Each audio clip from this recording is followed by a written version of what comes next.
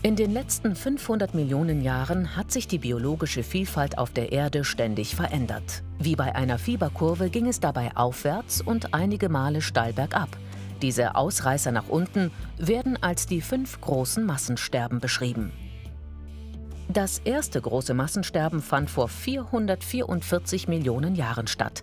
Eine Eiszeit war die Ursache dafür, dass 85 Prozent der damals fast nur im Meer lebenden Arten ausstarben.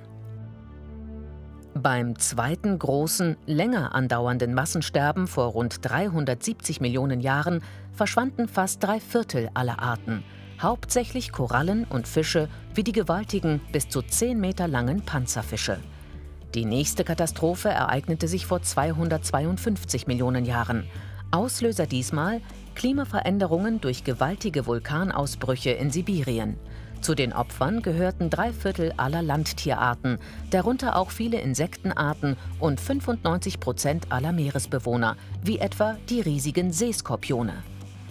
Gewaltiger Vulkanismus durch die Verschiebung von Erdplatten verursachte vor 201 Millionen Jahren das vierte Massensterben.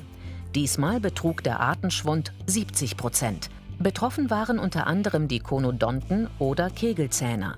Von diesen aalähnlichen Geschöpfen gab es einst über 3000 Arten.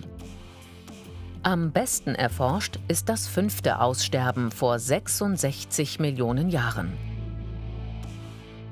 Als mögliche Hauptursache wurde ein über 10 Kilometer großer Asteroid identifiziert, der im mexikanischen Yucatan einschlug.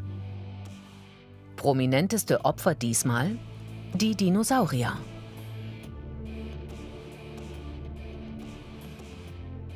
Für das sechste Massensterben sorgen wir Menschen, indem wir die Biosphäre derart verändern, dass die Welt jährlich mehrere tausend Tier- und Pflanzenarten verliert.